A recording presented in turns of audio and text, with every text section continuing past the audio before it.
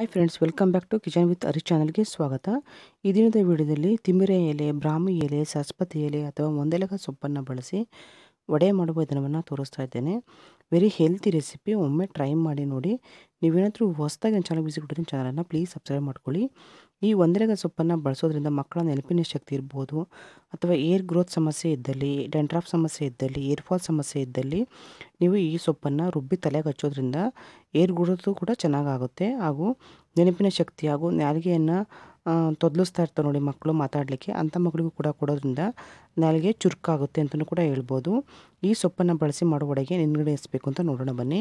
ಮೊದಲಿಗೆ ನಾನು ಒಂದು ಪಾನಿಗೆ ಅಥವಾ ಒಂದು ಬೌಲ್ಗೆ ನೂರು ಗ್ರಾಮಷ್ಟು ಕಡಲೆ ಹಿಟ್ಟು ತೊಗೊಂಡಿದ್ದೇನೆ ಹಾಗೂ ಫಿಫ್ಟಿ ಗ್ರಾಮಷ್ಟು, ಅಂದರೆ ಐವತ್ತು ಗ್ರಾಮಷ್ಟು ಅಕ್ಕಿ ಹಿಟ್ಟು ತೊಗೊಂಡಿದ್ದೇನೆ ಹಾಗೂ ಅರ್ಧ ಟೇಬಲ್ ಸ್ಪೂನಷ್ಟು ಜೀರಿಗೆ, ಅರ್ಧ ಟೇಬಲ್ ಸ್ಪೂನಷ್ಟು ಖಾರದ ಪುಡಿ ಹಾಗೂ ರುಚಿಗೆ ಬೇಕಾದಷ್ಟು ಉಪ್ಪನ್ನು ಹಾಕ್ತಾ ಇದ್ದೇನೆ. ಟೇಸ್ಟ್ ಅಂತೂ ತುಂಬ ಚೆನ್ನಾಗಿರುತ್ತೆ ಫ್ರೆಂಡ್ಸ್. ಒಮ್ಮೆ ಟ್ರೈ ಮಾಡಿ ನೋಡಿ ಮಕ್ಕಳಿಗಂತೂ ತುಂಬಾ ಇಷ್ಟ ಆಗುತ್ತೆ. ಈ ಒಂದೆಲಗ ಸೊಪ್ಪನ್ನು ಮಕ್ಕಳಿಗೆ ಕೊಡೋ ಹಾಗೆ ಕೊಡಲಿಕ್ಕೆ ಹೋದರೆ ತಿನ್ನೋದಿಲ್ಲ. ಒಗಗರು ಹಾಗೂ ದೊಡ್ಡ ಪತ್ರೆಯಲ್ಲಿ ಒಂದು ಸ್ವಲ್ಪ ಉಪ್ಪುಪ್ಪಾಗಿರೋದ್ರಿಂದ ತಿನ್ನಲಿಕ್ಕೆ ಇಷ್ಟಪಡೋದಿಲ್ಲ. ಅಂಥ ಟೈಮಲ್ಲಿ ನೀವು ಈ ರೀತಿ ಚಟ್ನಿ, ತಂಬುಳಿ, ಸಾಂಬಾರು ಕೊತ್ತಂಬರಿ ಸೊಪ್ಪು ಹಾಕ್ತಾ ಇದ್ದೇನೆ ಈಗ. ಹಸಿರು ಮೆಣಸಿನ್ಕಾಯಿ ಹಾಕ್ತಾ ಇದ್ದೇನೆ. ನಂತರ ದೊಡ್ಡಪತ್ರೆ ಎಲೆಯನ್ನು ಈ ರೀತಿ ವಾಶ್ ಮಾಡಿ ಕಟ್ ಮಾಡಿ ಚಿಕ್ಕ ಚಿಕ್ಕದಾಗಿ ಹಾಕ್ಕೊಳ್ಳಿ ನಂತರ ಒಂದೆಲಗ ಸೊಪ್ಪನ್ನು ಕೂಡ ವಾಶ್ ಮಾಡಿ ಚಿಕ್ಕ ಚಿಕ್ಕದಾಗಿ ಕಟ್ ಮಾಡಿ ಹಾಕ್ಕೊಳ್ಳಿ ನೋಡಿ ಈ ರೀತಿ ಚಿಕ್ಕದಾಗಿ ಕಟ್ ಮಾಡ್ಕೋಬೇಕಾಗುತ್ತೆ. ನಂತರ ಸಣ್ಣದಾಗಿ ಚಾಪ್ ಮಾಡಿ ಇಟ್ಕೊಂಡಂತಹ ಈರುಳ್ಳಿಯನ್ನು ಹಾಕ್ತಾ ಇದ್ದೇನೆ.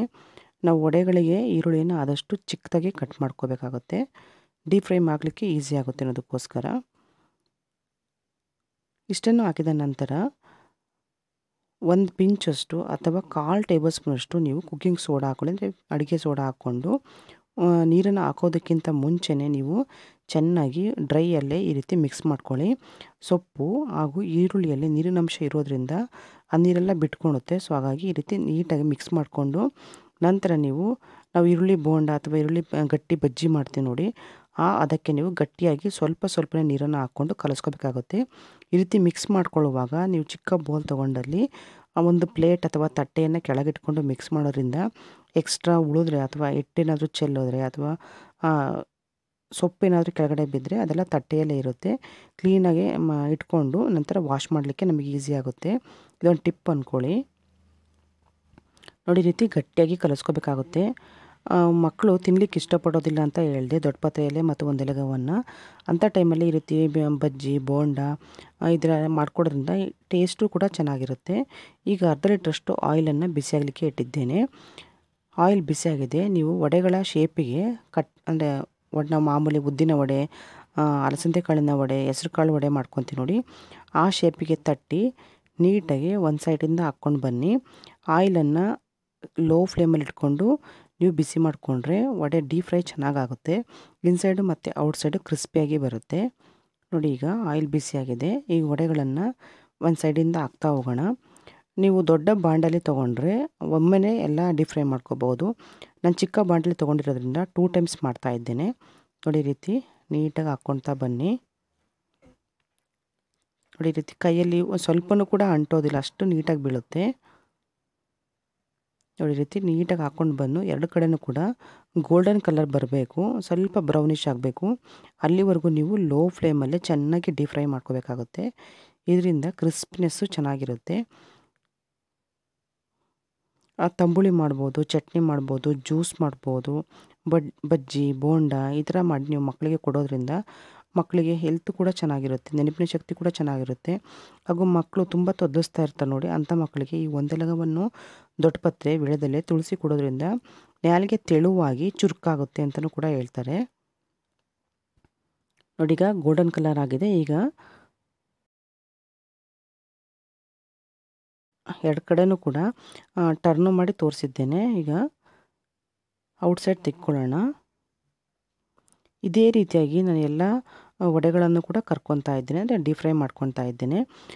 ನೀವು ನೂರು ಗ್ರಾಮಷ್ಟು ಕಡಲೆ ಹಿಟ್ಟಿಗೆ ಹದಿನೈದರಿಂದ ಇಪ್ಪತ್ತು ವಡೆಗಳನ್ನು ಮಾಡ್ಕೋಬಹುದು.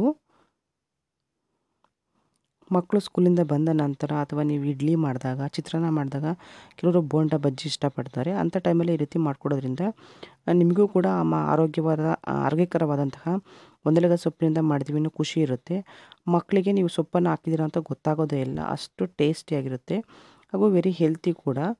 ಒಮ್ಮೆ ಟ್ರೈ ಮಾಡಿ ನೋಡಿ ನನಗೆ ಕಾಮೆಂಟ್ ಬಾಕ್ಸಲ್ಲಿ ತಿಳಿಸಿ. ಈ ಸೆಕೆಂಡ್ ಬ್ಯಾಚು ಕೂಡ ಡೀಪ್ ಫ್ರೈ ಆಗ್ತಾ ಇದೆ. ಇದು, ಇದನ್ನು ಕೂಡ ತೆಗೆದುಬಿಟ್ಟು ಒಂದು ಸೈಡಲ್ಲಿ ಇಟ್ಕೊಳ್ಳೋಣ. ನೀವು ತೆಂಗಿನಕಾಯಿ ಚಟ್ನಿ, ಟೊಮೊಟೊ ಸಾಸ್ ಅನ್ನೋದಕ್ಕೂ ತಿನ್ಬೋದು. ಹಾಗೆ ನೀವು ಸಂಜೆ ಟೈಮು ಟೀಯೊಂದಿಗೆ ಕೂಡ ಹಾಗೆ ತಿನ್ಕೋಬೋದು. ಟೇಸ್ಟ್ ಕೂಡ ಚೆನ್ನಾಗಿರುತ್ತೆ. ಈಗ ನಾನು ಸರ್ವಿಂಗ್ ಪ್ಲೇಟಲ್ಲಿ ಸರ್ವ್ ಮಾಡಿ ಕೂಡ ತೋರಿಸ್ತಾ ಇದ್ದೇನೆ. ನೋಡಲಿಕ್ಕೆ ಯಾವ ರೀತಿ ಕಲರ್ಫುಲ್ಲಾಗಿ ಕಾಣ್ತಾ ಇದೆಯೋ ಕ್ರಿಸ್ಪಿಯಾಗಿ ಕಾಣ್ತಾ ಇದೆಯೋ, ಅದೇ ರೀತಿಯ ಟೇಸ್ಟ್ ಕೊಡುತ್ತೆ. ನೀವು ತೆಂಗಿನಕಾಯಿ ಚಟ್ನಿ ಇರ್ಬೋದು, ಟೊಮೊಟೊ ಸಾಸ್ ಇರ್ಬೋದು, ಟೊಮೊಟೊ ಕಿಚಪ್ ಒಂದಿಗೂ ಕೂಡ ತಿನ್ಬೋದು, ಅಥವಾ ನೀವು ಈವ್ನಿಂಗ್ ಸ್ನ್ಯಾಕ್ಸಲ್ಲೂ ಕೂಡ ಉಪಯೋಗಿಸ್ಬೋದು. ಅಂದರೆ ಬಿಸಿ ಬಿಸಿಯಾದ ಟೀ ಅಥವಾ ಕಾಫಿಯೊಂದಿಗೆ ಈ ರೀತಿಯ ಒಂದೆಲಗ ಸೊಪ್ಪು ಅಥವಾ ದೊಡ್ಡಪತ್ರೆ ಎಲೆಯ ಬಜ್ಜಿ, ಬೋಂಡ ತಿನ್ನಲಿಕ್ಕೆ ಟೇಸ್ಟ್ ಅಂತೂ ತುಂಬ ಚೆನ್ನಾಗಿರುತ್ತೆ. ನೋಡಿ, ಎಷ್ಟು ಕ್ರಿಸ್ಪಿಯಾಗಿ ಉಂಟು. ಇನ್ಸೈಡು ಮತ್ತು ಔಟ್ಸೈಡು ಈ ರೀತಿ ಚಟ್ನಿಯೊಂದಿಗೂ ಕೂಡ ತಿನ್ಬೋದು. ಟೇಸ್ಟ್ ತುಂಬ ಚೆನ್ನಾಗಿರುತ್ತೆ. ನೀವೇನಾದರೂ ಹೊಸ್ದಾಗಿ ನನ್ನ ಚಾನಲ್ಗೆ ವಿಸಿಟ್ ಕೊಟ್ಟರೆ ನನ್ನ ಚಾನಲನ್ನು ಪ್ಲೀಸ್ ಸಬ್ಸ್ಕ್ರೈಬ್ ಮಾಡ್ಕೊಳ್ಳಿ. ನಿಮ್ಮ ಫ್ರೆಂಡ್ಸ್ ಇರ್ಬೋದು ಫ್ಯಾಮಿಲಿ ಇರ್ಬೋದು ಕೋಲಿನ್ಸ್ ಇರ್ಬೋದು, ಆದಷ್ಟು ಈ ವಿಡಿಯೋವನ್ನು ಹೆಚ್ಚು ಶೇರ್ ಮಾಡಿ, ಪುಟ್ಟದಾಗಿ ಒಂದು ಲೈಕ್ ಮಾಡಿ. ಹಾಗೆ ನನ್ನ ಚಾನಲನ್ನು ಪ್ಲೀಸ್ ಸಬ್ಸ್ಕ್ರೈಬ್ ಮಾಡ್ಕೊಳ್ಳಿ. Thank you for watching thank you take care